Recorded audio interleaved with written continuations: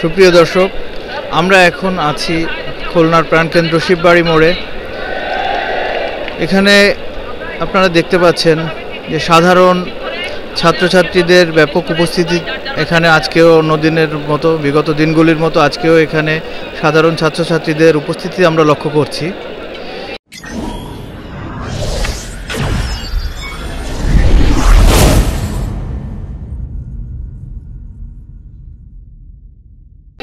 এখানে কিন্তু যদি আমি একটু সকালের কথা বলে থাকি, আজ সকালে দিক থেকে দুপুর পর্যন্ত কিন্তু সম্পূর্ণ মোড়টি পুলিশের দ্বারা নিয়ন্ত্রিত ছিল।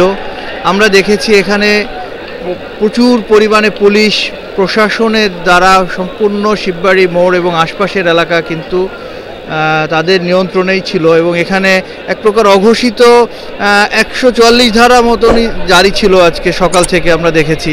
এখানে কাউকে প্রবেশ করতে দেওয়া হয় নাই, ইমার্জেন্সি যানবাহন ছাড়া কিন্তু কাউকেই প্রবেশ করতে দেওয়া হয় নাই।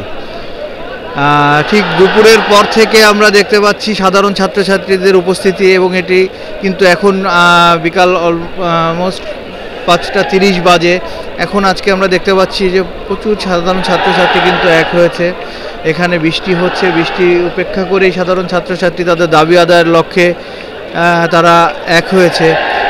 গতকাল যেমনটি আমরা দেখেছিলাম, আজকেও আমাদের এখানে দেখতে পাচ্ছি সাধারণ ছাত্রছাত্রী পুরো শিববাড়ি মোড় ও আশপাশের এলাকা কিন্তু তারা ব্লক করে রেখেছে। এবং প্রচুর সাধারণ ছাত্রছাত্রী মোড় ছাড়াও বিভিন্ন পয়েন্টে তারা অবস্থান নিয়েছে। এখানে আজকে অন্য দিনের তুলনায় অনেক বেশি পুলিশ ডিবি বা অন্যান্য প্রশাসনের লোক আমরা দেখতে পাচ্ছি, কিন্তু এখনও পর্যন্ত কোনো প্রকার সহিংসতার ঘটনা ঘটেনি। এরা শান্তিপূর্ণভাবে ছাত্রছাত্রীরা তাদের দাবি আদায়ের যে প্রোগ্রাম যে সমাবেশ, এটা কিন্তু তারা করছে। মুহুর্মুহু স্লোগান আমরা লক্ষ্য করছি। এখন দেখতে পাচ্ছি সাধারণ ছাত্রছাত্রীদের কোনো দিক নির্দেশনামূলক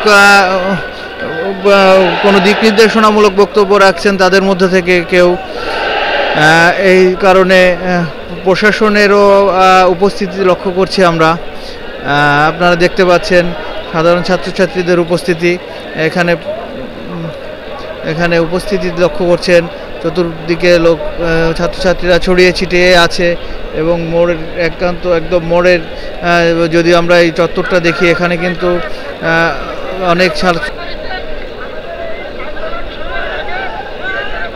আজকে আজকে কিন্তু আমরা যেটি লক্ষ্য করেছি সাধারণ ছাত্রছাত্রীরা এই মোড়ের এন্ট্রি পয়েন্টগুলোতে এন্ট্রি পয়েন্টগুলোতে তারা নিজস্ব চেকপোস্ট মানে চেকপোস্টের মাধ্যমে আইডি কার্ড দেখে দেখে তারপরে আন্দোলনের যারা উপস্থিত হয়েছে, আন্দোলনে উপস্থিত হয়েছে, সবারই আইডি কার্ড চেক করে করে এখানে প্রবেশ করতে দেওয়া হয়েছে।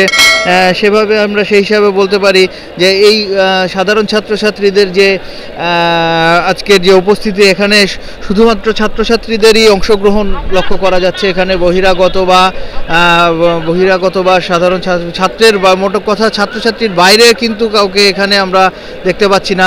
কিছু অভিভাবকের স্বতঃস্ফূর্ত অংশগ্রহণ আছে।